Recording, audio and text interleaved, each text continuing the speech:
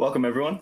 Thank you for joining us for today's webinar, The Intersection of Nutrition, Microbiome, and Medical Cannabis, presented by Dr. Deborah Kimless, Medical Director of ForwardGro. My name is Xavier Gutierrez, and I will be your moderator for today's event. We are delighted to bring you this educational web seminar presented by LabRoots. LabRoots is the leading scientific social networking website and producer of educational virtual events and webinars. Now, before we begin, I would, I would like to remind everyone that this event is interactive. We encourage you to participate by submitting as many questions as you want during the presentation.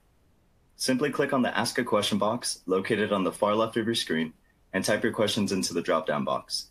Our speaker will respond to your questions via email following the presentation. If you have trouble seeing or hearing the presentation, please click on the Ask a Question box to let us know that you're experiencing a problem. This presentation is educational and thus offers continuing education credits. Please click on the Continuing Education Credits tab located in the top right corner of the presentation window and follow the process to obtain your credits. Now, without further ado, please join me in welcoming Dr. Kimless. I will now turn the presentation over to her. Thank you, and thank you to everyone at LabRoots for providing this platform so that I can discuss my favorite topic, the intersection of nutrition, the microbiome, and medical cannabis. So before I start, um, I am the medical director of ForwardGro, a cultivation and processing company in Maryland, and I'm consultant for Pure Green Canna, a processing and formulation company in Michigan. And I have no actual or potential conflict of interest in relation to this presentation. So Hippocrates wrote, before you heal someone, Ask him if he's willing to give up the things that make him sick. And this quote resonates with me. And as you will see, I needed to figure out what would be the disruptor, the thing that people could do to help themselves prevent and heal disease. Currently, our healthcare system is such that patients passively medicine that is given to them, but yet they do nothing to prevent or even help heal illness. So it started out as a thought experiment. And it started out like this What if, prior to beginning any medical treatment, even cannabis medicine, what if we changed our internal milieu? What if we could create an internal environment that can actually be receptive to healing? And what if that process of changing the body's internal environment is really not that difficult? And all we have to do is change the foods we eat. Food is known to create or destroy our health. Chronic diseases are directly linked to poor eating habits. And I don't think that's much of a surprise. But the question is, what does that mean? How do we implement this? There's so much information and misinformation in the media that talks about what we should and should not eat. So let me be clear. I'm talking about a whole food, all plant diet and no processed foods. I'm intentionally not using the V word, vegan, because Coca Cola, Oreo cookies, and my daughter says even some Pop Tarts are vegan. I'm talking about real food found in nature, no animal products, including no sugar, no dairy, no fish, no chicken, nothing with a face, nothing that bleeds you cut it, and nothing that comes from a mother, and no processed foods, including no added oils. So, if you implement this, what will that do? By changing your diet, eating only plants, our body's internal environment actually transforms. And this transformation makes the body more receptive to healing. So, why am I talking about food at a cannabis conference? Because I want everyone to understand the why and the how I treat patients. And the patients that I treat are predominantly cancer patients, which is interesting because I'm an anesthesiologist and pain medicine doctor. So I feel that if you're a cancer patient and you're coming to me for help, we need to do something incredibly different to help maximize the options to help you maintain and gain your best life. In addition to a diet change, I also use medical cannabis for some patients The medical cannabis I use is something called a microdose of cannabis oil extract. And so I'm now going to show you how I do it.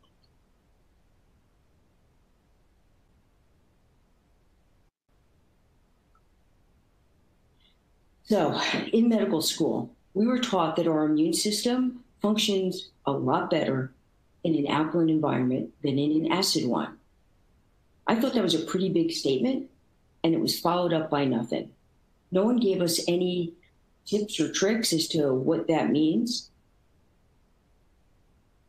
And so, this big statement, like a lot of other things I've learned in medical school, was just that a statement, that there was no guidance. So the question is, how do we change our pH? So in the operating room, as an anesthesiologist, I work there. And if somebody's blood gas test comes back with a low pH, there are a lot of different maneuvers that we could use to change the pH. However, life is not an operating room, and those tricks are just that, and it's a temporary fix. And the purpose of changing the pH is to prevent and or help treat chronic disease. So that's why I mandate a whole food, all plant diet. However, I needed proof one, proving to myself that this made sense. And two, in order to help patients understand this so that they are they get on board, um, I have to prove it to them as well. So I started looking into the literature. And so in the Journal of Environmental Public Health in 2012, they published a survey of literature to see what impact, if anything, was the effect of an alkaline diet on a bunch of different uh, health benchmarks. So the survey examined an alkaline diet and back pain, growth hormone, muscle, bone disease, the role of pH on various cells, organs, and membranes. And what they found was that increased fruits and vegetables in an alkaline diet may actually benefit bone health. It could reduce muscle wasting as well as mitigate other chronic illnesses such as high blood pressure and stroke.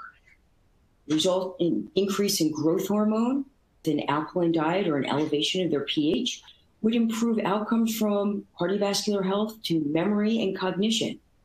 And the alkalinity may result in an added benefit for some chemotherapy agents and patients who get those types of things for cancer that require a higher pH.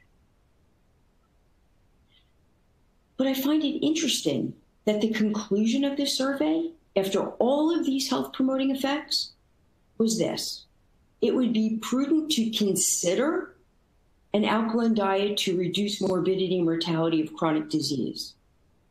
I'm imagining that if there was a pharmaceutical drug that did any one of these things, I think that the language used by the drug company would be a lot different. In 2001, in the Journal of Leukocyte Biology, it also examined what happens to the immune system and immune cells in an acid pH versus an alkaline pH. And the upshot of this study was that the immune system actually works better in an alkaline pH. So, how do we implement this change? I can't just leave this as a statement like I learned in medical school and not help to figure out what we can do. So, it ends up the most effective method to change your internal milieu from an acid pH to an alkaline pH is to by eating a whole food, all plant diet with no animal products, no processed or prepackaged foods, and no added oils. And so I have my patients test their morning urine every morning on a urine pH test strip to make sure that they're alkaline because you, they will see the importance of even if they slip for a day, the pH actually does um, alter accordingly. And also, we're all an N of one, not everybody's the same. So some people handle things differently, even if it falls under the category of an all plant diet. So it's a good monitor to, to, to, to um, gauge whether or not they're eating properly for themselves. So, whole food versus vegan. I have to also prove that because vegan has a, a lot of popularity and we need to discuss the differences. And so there continues to be a big disconnect regarding the information between what veganism is, what proper food is, what the right diet is. And so I found this article in a magazine called The Week in March of 2018, and it was under the topic of Health Scare of the Week. They published this little blurb linking processed foods to cancer. And they shared a staggering statistic that says that for every 10% increase in the consumption of processed foods, there was an associated 12% increase in cancer risk. So if you take a bag of snack sized potato chips, believe it or not, it's about 300 calories. If you eat a 2,000 calorie diet, there's your first bump of a 12% increase in cancer risk. And considering most Americans eat predominantly processed foods as their daily food consumption, this statistic should have been sending out warnings to every media channel, every healthcare provider, every hospital, every school lunch program. But no, I haven't seen or heard anything more than this article in a blurb in a non medical journal. So here's another interesting study. In 2005, this reported a study done by Dean Ornish, and this was reported in the Journal of uh, Urology. Basically, what they did was take a group of young, healthy men who ate a standard American diet. They took their blood, and on a petri dish, they had plated out androgen dependent cancer cells. And they dripped these healthy men's blood on these cancer cells. And they saw that they suppressed cancer growth by 9% because these were otherwise young, healthy men and their immune system functioned somewhat. So then what they did was they changed this group uh, of men's diets to a whole food, all plant diet, no processed foods, no added oils. And they did this for a year. They came back, repeated the study, took their blood, petri dish, plated out some cancer, the prostate cancer cells, dripped it on, and found a 70% reduction in prostate cancer cell growth. This was without chemotherapy. This was without any special anything other than a diet change. So then they repeated this study. This time they used women and they used three different breast cancer cell types. So they took women on a standard American diet. They were otherwise healthy. They plated out three different breast cancer cell types on a petri dish. They dripped the blood, and the um, dark column showed that there was a reduction, a slight reduction in breast cancer cell growth in these women. They put these women on a whole food, all plant diet, no processed foods, no added oil, for only two weeks and repeated this study. And these results are incredible. If you look at the hatched, hatched marked columns, it shows that, that there was a statistically significant reduction in tumor growth in all three cancer lines. So slowing cancer growth is great, but what would be better would be killing cancer cells. So again, they took these same women, they were otherwise healthy, they had a standard American diet, um, three separate cancer cell lines, put it in a petri dish. The dark columns showed a, um, a reduction in cancer development slightly. Two weeks later, same women after a whole food, all plant diet, the hatch marks, the hatch marks column shows a statistically significant increase in breast cancer cell death in all three lines, and that occurred in only two weeks of diet change. Now, if this isn't compelling enough to change people's diets, I don't know what is.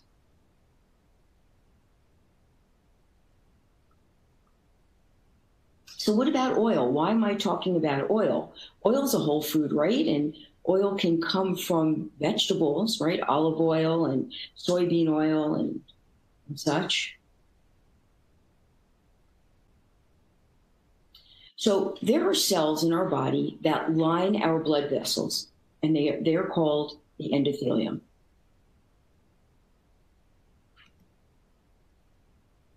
So we originally believed, we meaning the medical and scientific community, originally believed that the endothelium was a vascular lining that really had no other bodily function. However, in the 1980s, scientists learned that the endothelium actually played a very active and important role in our biologic functions. In fact, one of the roles is that the, that the endothelium is one of our largest endocrine glands. It secretes a chemical called nitric oxide. Nitric oxide is a potent dilator of blood vessels and regulates blood pressure. So high blood pressure will occur without a functioning endothelial layer, and nitric oxide secretion um, is integral in this. And so, how does oil play a role in this? Oil actually destroys that beautiful carpet of those endothelial cells that line our blood vessels. That oil can come from any source, including vegetables. And so there was a study that looked at oil coming from soybeans, palm oils, and olive oil. And they all created a similar acute detrimental effect on the endothelial function in healthy people. Imagine what it does in sick people.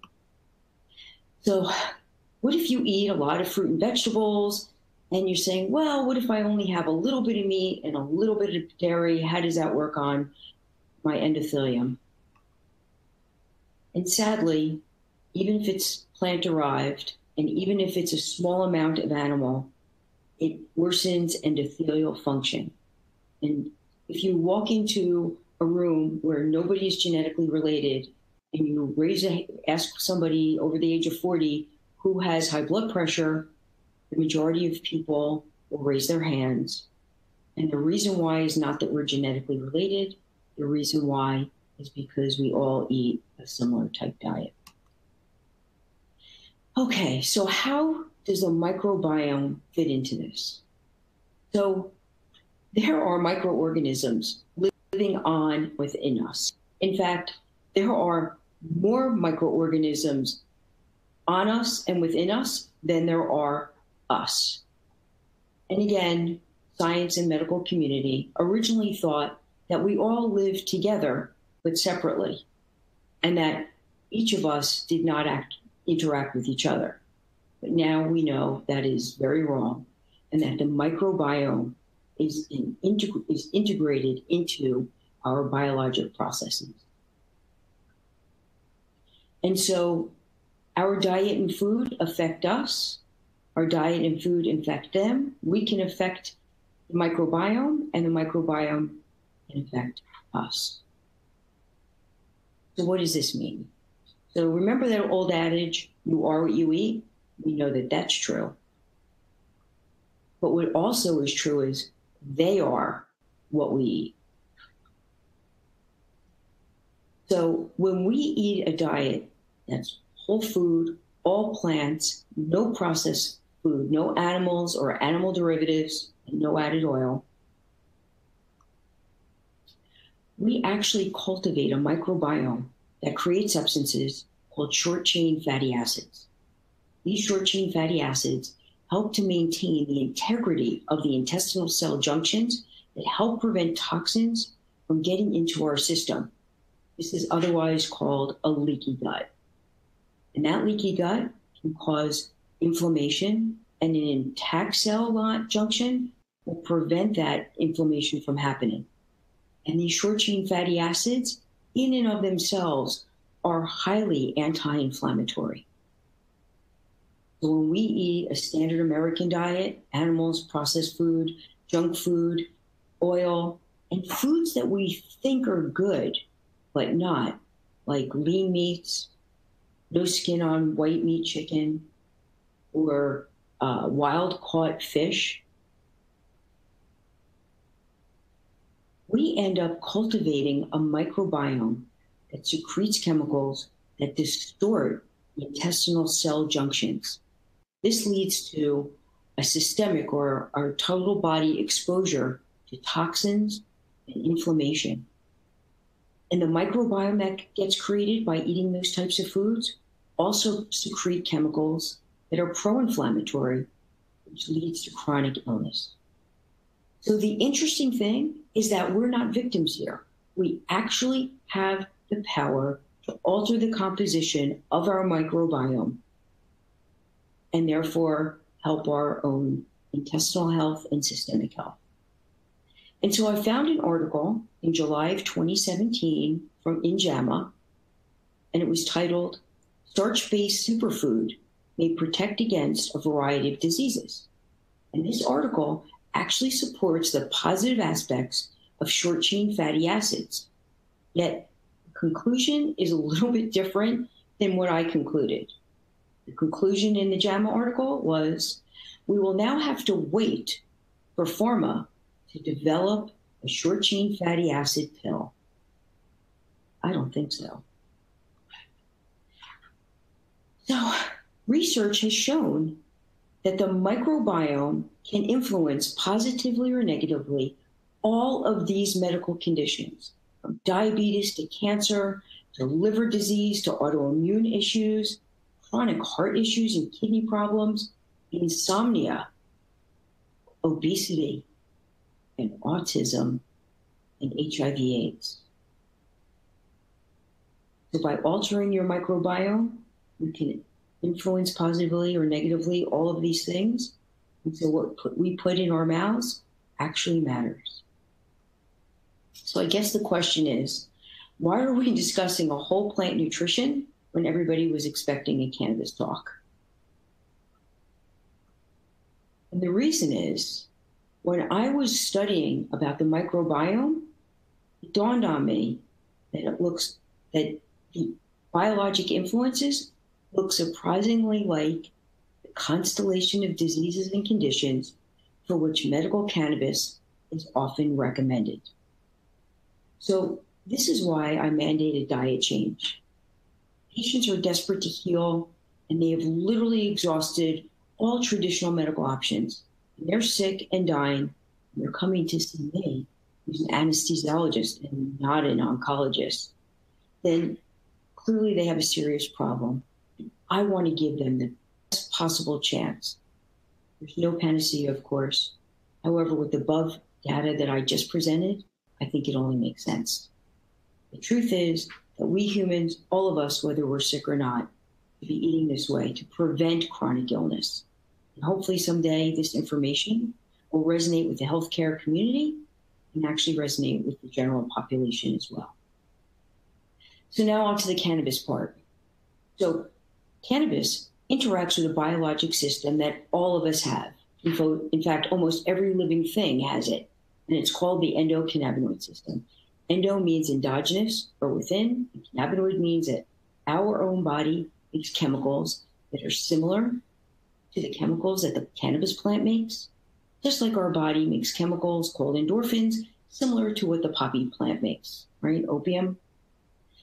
And so the purpose of our endocannabinoid system is to maintain homeostasis or a physiologic balance. What does that mean? It means that our endocannabinoid system is involved in every single biologic system in our bodies, from thinking to pooping and everywhere in between. So, why then don't we know about this endocannabinoid system? Not taught in biology class. I certainly didn't learn it in medical school or residency or any of the tens of thousands of dollars and hours that, of CME credits that I had to take to maintain my medical license. Besides the fact that cannabis has been stigmatized.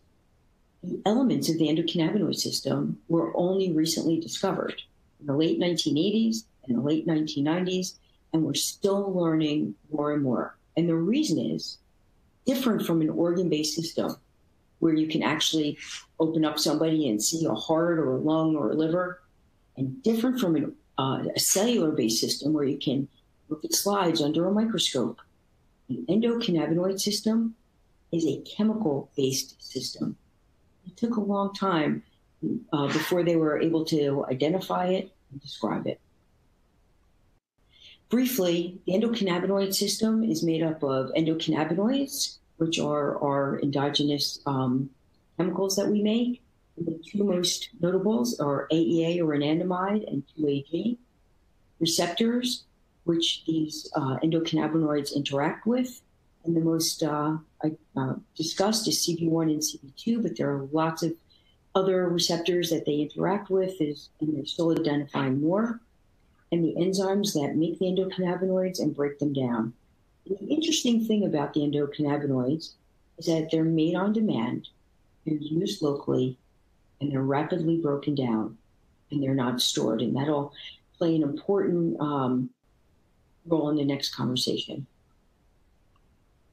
Phytocannabinoids, that's just a fancy word for the plant's chemicals, interact with our body's endocannabinoid receptors. So, briefly, the cannabis plant is literally a chemical manufacturing factory. It makes over 400 chemicals, 100 of which are specific to the plant, known as phytocannabinoids. There's over 100 terpenes.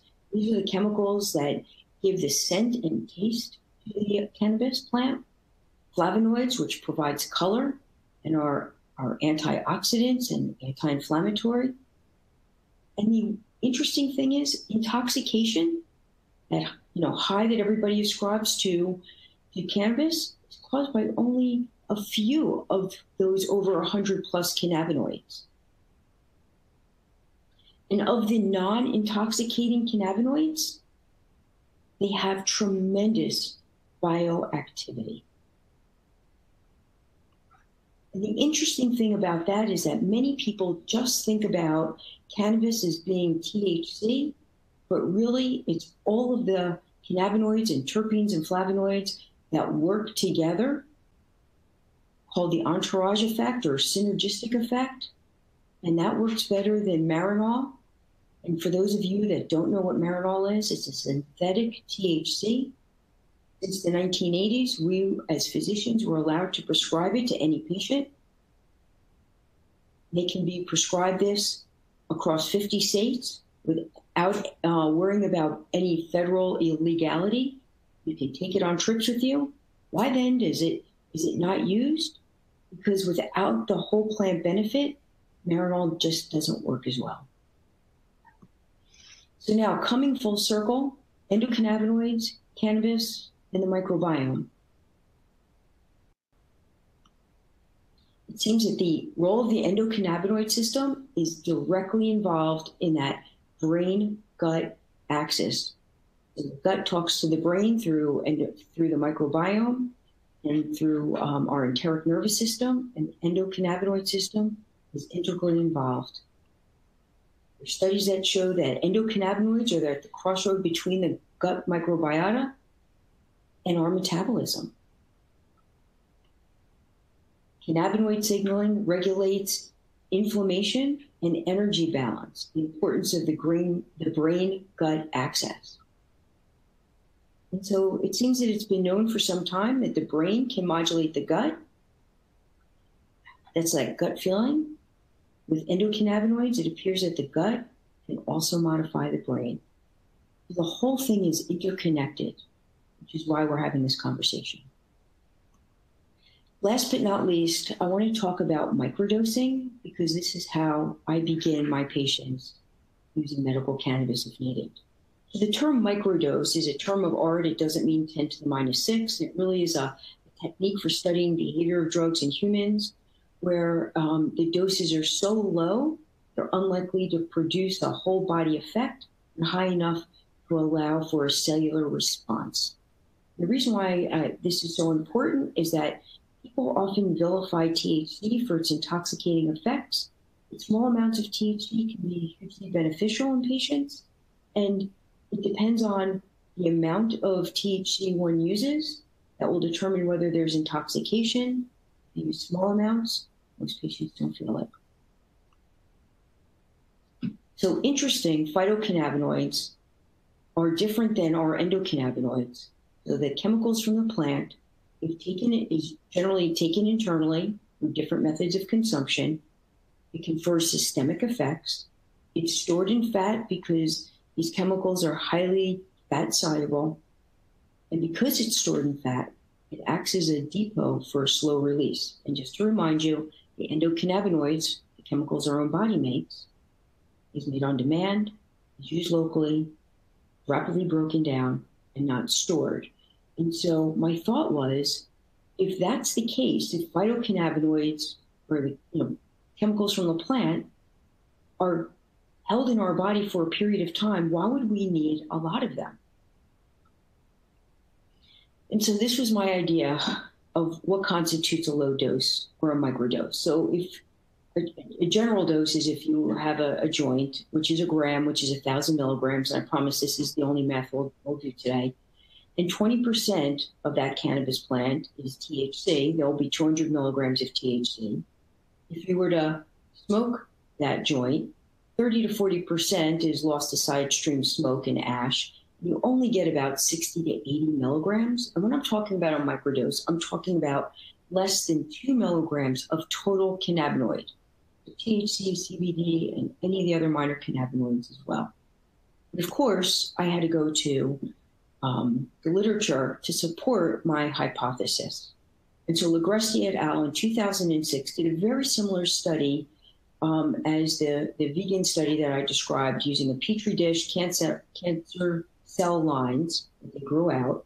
And instead of um, putting people's blood on it, they put different cannabinoids and then different fractions of THC rich and the CBD rich solutions to see what would slow down cancer growth. And this is a very busy slide that reports it in micromoles. And when you do uh, the conversion from micromoles to um, milligrams using Avogadro's equation, you will see that the microdose actually makes sense. So now I'm going to discuss some patients as examples of um, how I treat them and some of the successes. So these are two prostate cancer patients. The first one is a 72 year old man that had a recurrent prostate cancer diagnosis. He was diagnosed in 2011. In 2015, his PSA started to rise. In uh, 2016, his PSA level went to 7.8, and sadly, his biopsy um, revealed recurrent cancer. Unfortunately, his CAT scan showed um, no metastasis. He began his first of three Lupron injections and the problem was he didn't respond. After the first one, after a month, his PSA uh, remained at 7.8. And he was concerned that he was not going to be able to be treated effectively. So we started him on uh, his diet, low dose cannabis oil, continued the second and third Lupron injection because I never uh, changed the traditional therapy possible. So this slide shows in blue his first month of the Lupron injection. Second month shows blue, his second Lupron injection, and the red is uh, when we introduced his diet change and his low dose cannabis oil. So, again, the low dose cannabis oil was less than two milligrams uh, per ml of total cannabinoid. It was a sublingual oil that goes under the tongue, and he used one, um, one milliliter four times a day. And after the second month, his PSA was almost cut in half. We continued for his third month. His PSA dropped to 0.3. His fourth month, he no longer was on Lupron. It maintained at 0.3. The fifth month, this is 2015. This is 2019 now, and his PSA remains at 0.1. This is a 81 year old, otherwise healthy man with a one year history of metastatic prostate cancer. Sadly, he uh, was tr- he was treated with seed implants, radiation, and Lupron injections, and sadly, it was uh, refractory to that. He continued to have escalating testosterone levels. He was ready to have surgery to remove his testosterone generating organ, which was his testicles. Um, Clearly, he didn't want that surgery, so he came to me and we started him on low dose cannabis oil. This time we treated him five times a day and changed his diet. And so his testosterone level started at a high level of 1,350 nanograms per deciliter. And only in two weeks after a diet change and cannabinoids, it was cut in half. He went to a surgeon and said, What do you think? I dropped by uh, almost half. And the surgeon thought it was incredible. He said, But it's still too high, and we still need to do surgery. And the patient asked for two more weeks. And it dropped in two more weeks. His testosterone level dropped lower than what they would have expected from his um, if he had surgery. There are a lot of studies that show cannabinoids in prostate cancer and how it can uh, help. Brain cancer, two patients. So the first case is a 69 year old man who woke up in the emergency room after having a surgery. An MRI revealed that he had a tumor. A biopsy diagnosed him with a glioblastoma. He was discharged from the hospital. He was incredibly lethargic. He was unable to perform his activities of daily living without assistance, and he tremendous cognitive changes. The only medicine they put him on was Tegretol for seizures. This is his MRI um, when he was diagnosed in the in the uh, hospital, and that white mass shows um, a, a large glioblastoma in an area of the brain that was not amenable to surgery.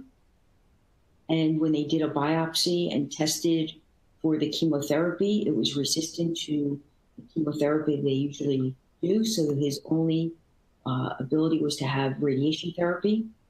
He changed his diet, started him on low dose cannabis oil four times a, a day. And somehow somebody ordered an MRI only two weeks later. And this is his, his post two weeks. And the radiology report reads central cystic degeneration, clearly responding to radiation therapy, continue. Unfortunately, or fortunately, he didn't see the radiation oncologist. That was scheduled for two more weeks. Um, so this is what it was pre and post. And this was nine months later. And again, there are a lot of studies looking at different cannabinoids cannabis as a whole in regard to treatment of cancers.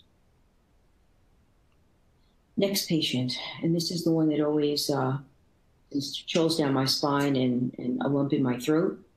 This is a story of an eight year old girl with acute lymphocytic leukemia. She failed multiple chemotherapy and radiation trials. She failed bone marrow transplant and was in hospice. The chief complaints from the parents regarding her was chronic nausea, lack of appetite, headache, and lack of energy. She was lethargic upon uh, evaluation and not really communicative. She looked swollen. And the only medicines that she had was methadone and morphine in divided doses. And her MRI um, in hospice or prior to going into hospice was this, and white is either bone or bad. The bone on the outside is her skull. And the, I mean, the white on the outside is her skull. The white parts on the um, where the brain is shows the leptomeningeal spread of her um, of her cancer. And so the goals are to prove the quality of life before she died, to try to get get a handle of her pain, to try to transition her off opiates to um, to help her enjoy her, her, her, last days. So we start her on oil sublingual four times a day, and we um, changed her diet. So the response was interesting. Initially, we were able to reduce and replace uh, all of the opiates.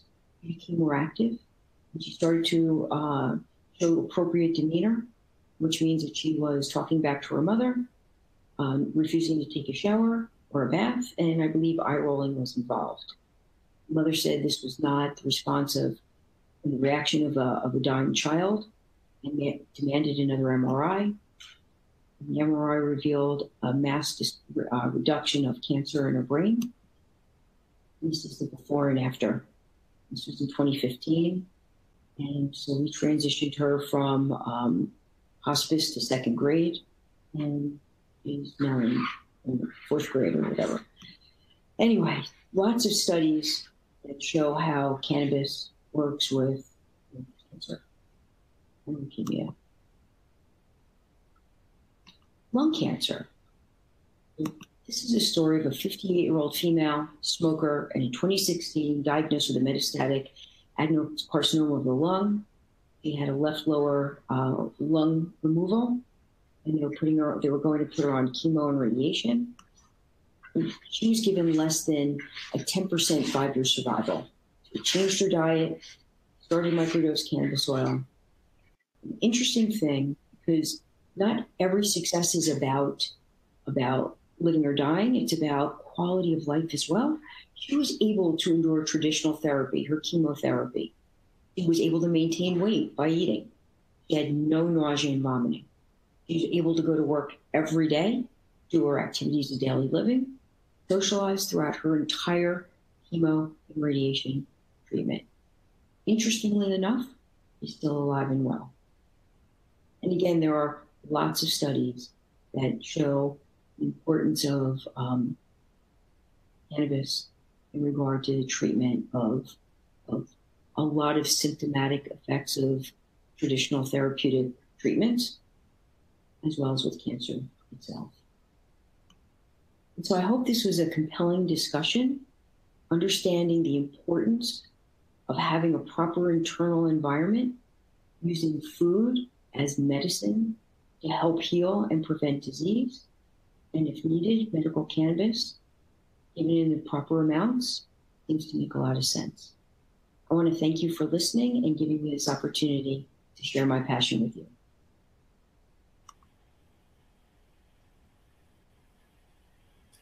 Well, thank you, Dr. Kimless, for that informative presentation. I would also like to thank LabRoots for making today's educational webcast possible. And before we go, I want to let everyone know that this webcast will be available for on-demand viewing through June of 2019. And as a final reminder, our speaker will follow up with any questions you've submitted via email. That's all for now. Thank you for joining, and we hope to see you again soon. Goodbye.